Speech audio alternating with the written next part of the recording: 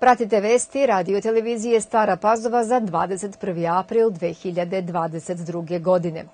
41 odbornik i odbornica Skupštine opštine Stara Pazova zasedali su danas u Beloj zgradi kada je održana redovna sednica. Sve tačke predloženog dnevnog reda su usvojene većinom glasova.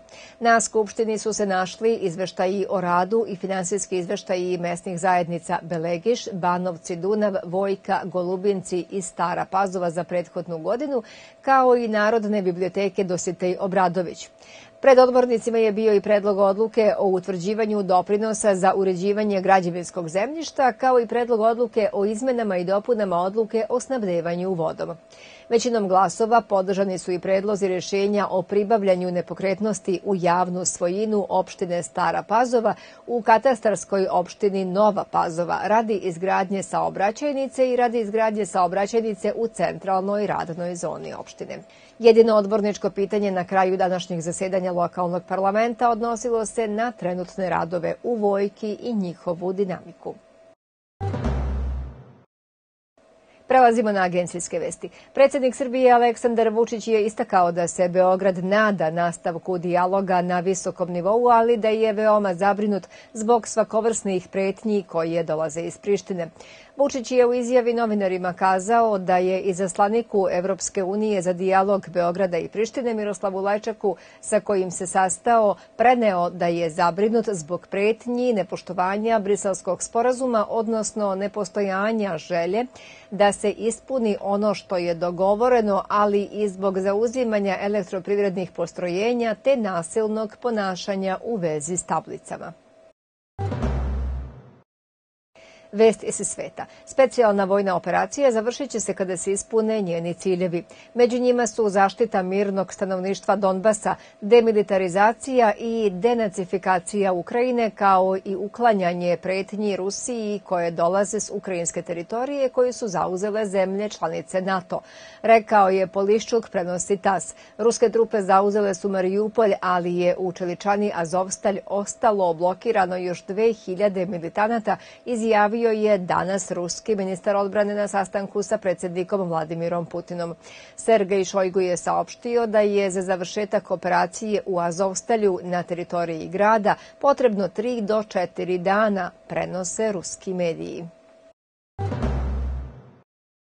Prateći svoje strateške pravce razvoja i postavljene ciljeve, logistička kompanija Transfera je odlučila da sedište svoje firme iz Beograda prebaci u Nove Banovce. Radovi na izgradnji prvog logističkog centra u opštini Stara Pazova su počeli u junu 2021. godine, a špedicija je već u aprilu ove godine započela sa poslovanjem. Površina logističkog centra je 30.000 kvadrata na kojoj se nalaze kancelarije, skladišni prostor, ali i prostorije za odmor i rekreaciju poput restorana, kafea i trim staze. Najveći razlog preseljenja firme u Nove Banovce upravo je lokacija kao i činjenica da je Staropazvačka opština okrenuta privredi. Osnovna delatnost kompanije jeste organizacija transporta, carinsko zastupanje, distribucija i pružanje skladišnih usluga. Kompanija otvara nova radna mesta u potrazi za kandidatima različitih profila. Ukoliko ste posvećeni, odgovorni i motivisani da radite u mladom, energičnom timu, budite slobodni da pošaljete vaš CV na zaposlenje transfera.com ili se prijavite putem telefona 064 825 4653. Svet logistike čeka na vas. Sekretar Udruženja za biljnu proizvodnju i prehrambenu industriju u Privrednoj komori Srbije Aleksandar Bogunović izjavio je danas povodom odluke vlade da odobri kvote za izvoz pšenice, kukuruza, brašna i rafinisanog suncokretovog ulja, da će izvoz moći da se realizuje od 1. maja i da nije ugroženo snabdevanje domaćeg tržišta. Podsjetimo novom odlukom vlade koja je usvojena juče, dozvoljava se izvoz 150.000 tona pšenice, isto toliko tona kukuruza i 20.000 tona brašna na mesečnom nivou, dok je za rafinisano suncokretovo ulje mesečna kvota 8 miliona litara. A poljoprivrednicima iz Vojvodine koji se bave organskom proizvodnjom danas je u pokrajinskoj vladi uručeno 16 ugovora o dodeli ukupno 9,7 miliona dinara za sufinansiranje troškova nabavke priključne mehanizacije, mašina i opreme. Ugovore im je uručila pomoćnica pokrajinskog sekretara za poljoprivredu, vodoprivredu i šumarstvo Ljiljana Petrović, koja je istakla da je cilj da se u Vojvodini poveća ukupna površina na kojoj se uzgajaju organski proizvodi kao i broj proizvođača sertifikovanih za organsku proizvodnju.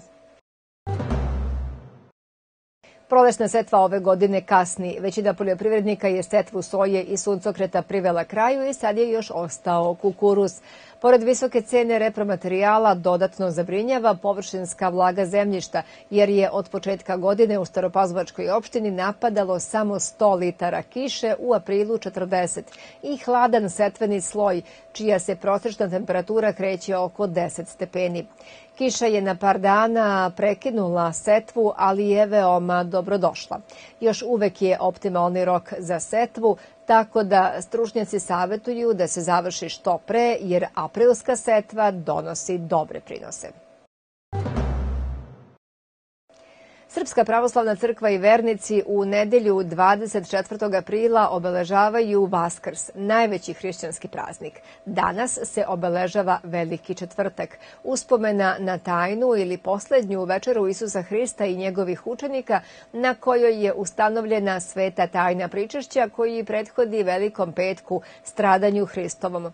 Predsednik Aleksandar Vučić je čestitao danas predstojeće vaskršnje praznike. Svima želim srećne predstojeće vaskršnje praznike, da u zdravlju i veselju provedete praznik sa svojim porodicama, poručio je Vučić.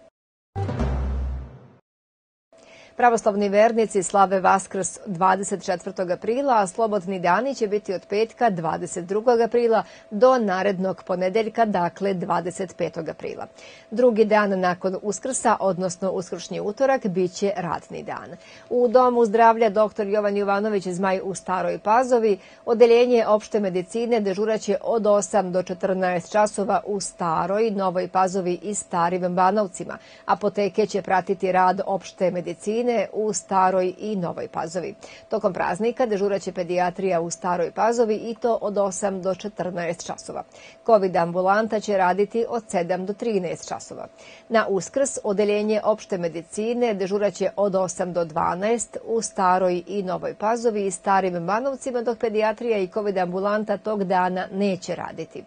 Javno komunalno preduzeće Čistoća neće odnositi smeće iz domaćinstava u Staropazvovačkoj opštini od velikog petka do ponedeljka, dok će dežurne službe čistoće prazniti samo podzemne i polupodzemne kontejnere.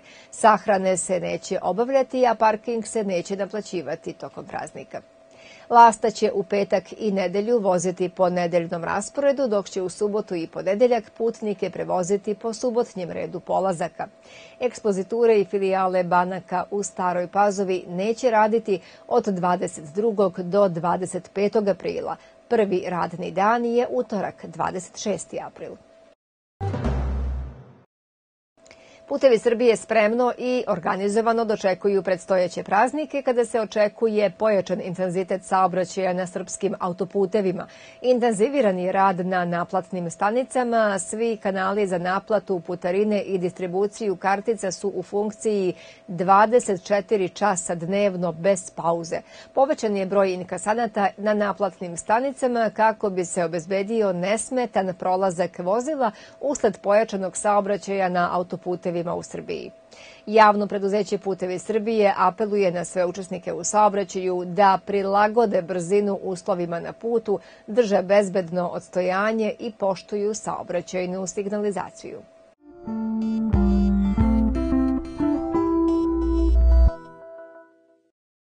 U Staroj Pazovi i okolini sutra kišovit dan sa jutarnjom temperaturom 9, a najvišom dnevnom do 23 stepena.